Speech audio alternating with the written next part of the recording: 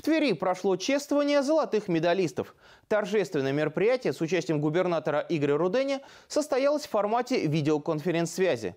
Глава региона поздравил выпускников школ Верхней Волжи с окончанием учебных заведений, а также пожелал им найти достойное место во взрослой жизни.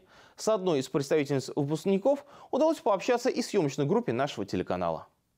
Для выпускницы средней школы номер 17 Анны Слезкиной 26 июня дата особенная. В этот день девушка отмечает свой день рождения. Празднование 18-летия совпало с еще одним знаковым событием. Вместе с другими золотыми медалистами этого года Анна принимает поздравления от губернатора Тверской области Игоря Рудени. Анну, главу региона, поздравил и с днем рождения, и с окончанием школы. Аня, мы тебя поздравляем э, все вместе с 18-летием. В этот день э, у тебя не просто день рождения, ты э, достигаешь уже статуса э, гражданина, э, человек, который получает новые права как гражданин э, с этого дня. Реализация всех планов, всех э, задуманных проектов, программ и, главное, хорошего настроения побольше радости по жизни. Как рассказывает выпускница, для нее золотая медаль значит очень много. К этому успеху девушка шла все 11 лет. Прилежно училась, выполняла домашние задания, готовилась к экзаменам. Наконец, все это позади, и Анна признается, что с нетерпением ждет начала единого государственного экзамена. Правда, куда будет поступать, девушка еще не решила, однако уверена, что пойдет по стопам папы в точной науке. Честно сказать, я очень боюсь ошибиться с выбором, поэтому конкретики пока что нет. Еще, конечно, ЕГЭ тоже все определит. Дальнейший мой путь, потому что все-таки это является такой тоже точкой отправления.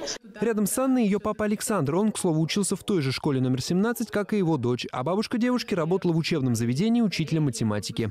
Как признался отец золотой медалистки, родители невероятно горды за Анну. Весь школьный путь они прошли вместе с дочерью, помогали ей и, что называется, болели за нее. Конечно, такая немножко растерянность. Ребенок повзрослел, он выходит во взрослую жизнь. Птенцы вылупились, э, выросли, и вот они уже, можно сказать, начинают собираться улетать. С другой стороны, волнуемся, потому что времена сейчас непростые. И в мире, и в стране все эти коронавирусы, все вот какие-то такие политические моменты. Вместе с Анной и ее родителями поздравления от губернатора Тверской области в этот день принимали более 600 золотых медалистов. Все они, как отметил губернатор Игорь Рудени, гордость Тверской земли. Глава региона подчеркнул, что такой результат показывает, что молодежь Верхней Волжьи является собранной, упорной и трудолюбивой. Окончание школы золотой медали – это, э, так сказать, э, ну, просто победа, э, первая победа в жизни каждого из вас, которую вы, собственно говоря, получили, достигли, реализовали, благодаря, конечно, трудолюбию, таланту, умению, умению вот, э, так сказать, сконцентрироваться и стать волевыми